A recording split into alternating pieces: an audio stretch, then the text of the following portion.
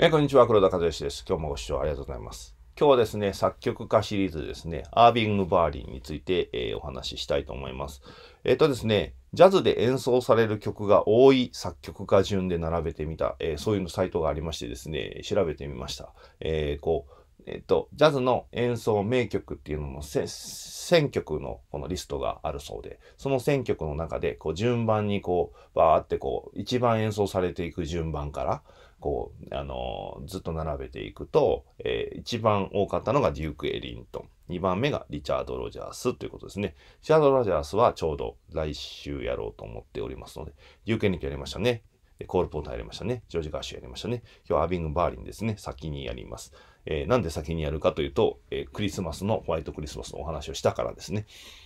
アービング・バーリンという人ですですね。まあ、この人は、まあ、えーコールポーターとまた正反対で、靴磨きとか新聞、新聞配達をして生計を立ててた。5歳の時にアメリカに移住して、お父さんが亡くなって、新聞配達とか靴磨きで、えー生活を生計を立ててたということなので、かなり、えーまあ、貧乏生活が長いわけですね。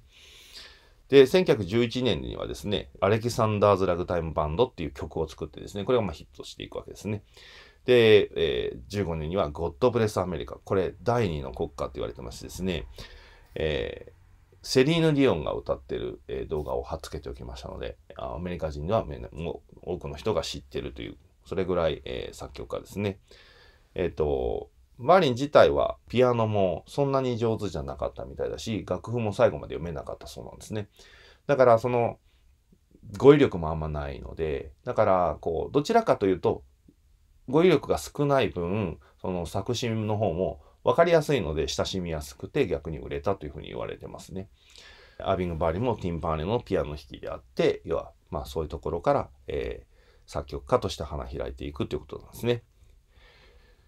えー、1920年はリベンバーですね。これは、あの、ハンク・モブレーのソウルステーションというアルバムの1曲目なんですが、これがすごいなんかこう、胸にクッとくるようなメロディーなんですが、まあこういった曲も作曲しています。ここからはジャズの人がよく使う曲を取り上げてますが、この辺あんまりやらないですね。えーこの辺は別にジャズでやるわけじゃないですが、リメンバーとか、えーブルースカイっていう曲をですね、これはベッツィという、えーミュージカルのために作られた曲ですが、ブルースカイですね。ジャズでもすごく演奏されるし、セレニアス・モンクっていうピアニストが、彼も、えっ、と、よく演奏される、作曲家の8位になってるんですけど、またいずれやると思うんですが、えーブルースカイという曲をコード進行を使って、イン・ウォークド・バドっていうですね、バド・パウエルがやってきたっていう、えー曲。これあの、ジョー・ヘンドリックスが後で歌詞をつけるんですが、えー彼がインスピレーションをもらって作った曲のイン・ウォークド・バドっていう曲の、えー同じ元になったコード進行になってますね。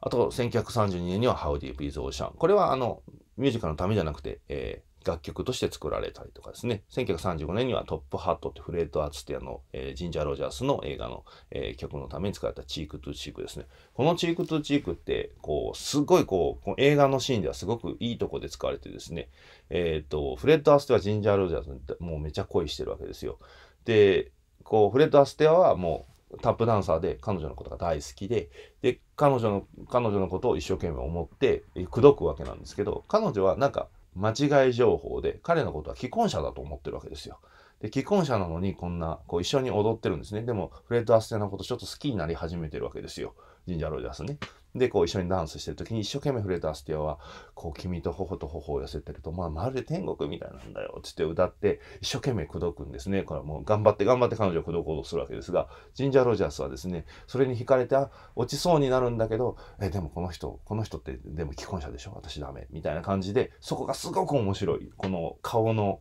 この、雲行きがこう変化していくってところがすっごい面白い。映画として僕結構好きですけどね、 Top Hat っていう映画ですね。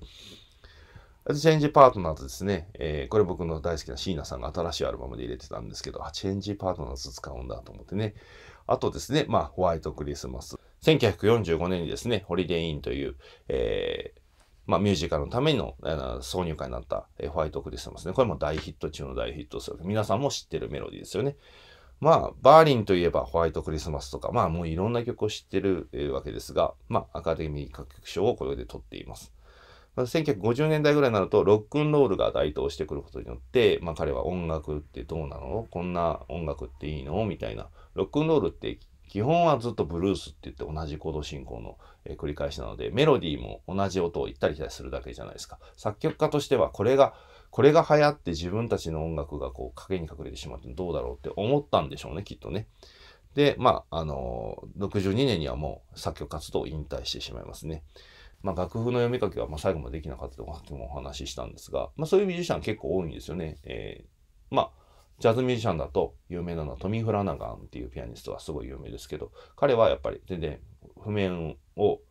読もうとしなかったし、譜面実態は読めなかったらしいんですね。じゃあ仕事はどうしてたかと、一緒にやってるピーター・ワシントンというベーシストがいるんですけど、その人がパッて譜面を見ると、彼がパーってピアノ1回メロディー弾いてあげるわけですね。そうすると1回弾いただけで全部、あ、こうかこうかこうか、分かった、曲分かったって言って、そのもうあと本番バッチリみたいな。だったらまあ譜面読む必要ないよね、みたいな。まあそれが逆にこう、譜面なんか読めなくても俺たちはジャズはできるでっていう、こう、逆にこう、車に構えた、そういう人もやっぱり、この当時やっぱりいたと思うんですが、そういう人がいたりとかします。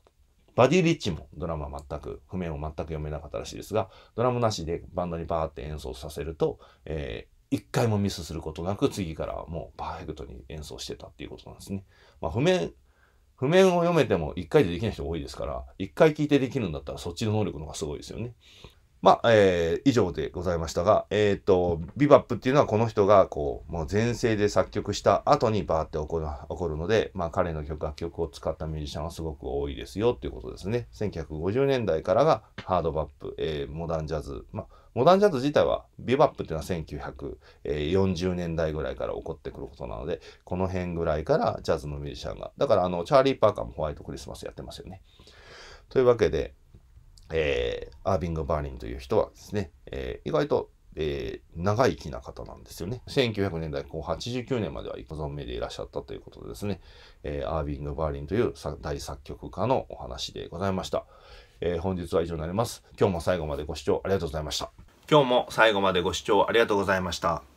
今日の動画があなたにとって面白いなとかためになったなと思われる方は、いいねボタンを押してください。チャンネル登録の方もよろしくお願いします。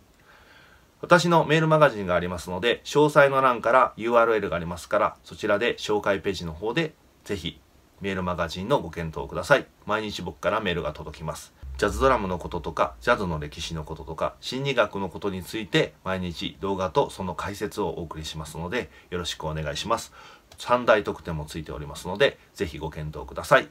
それでは今日は最後までご視聴ありがとうございました。黒田和義チャンネルでした。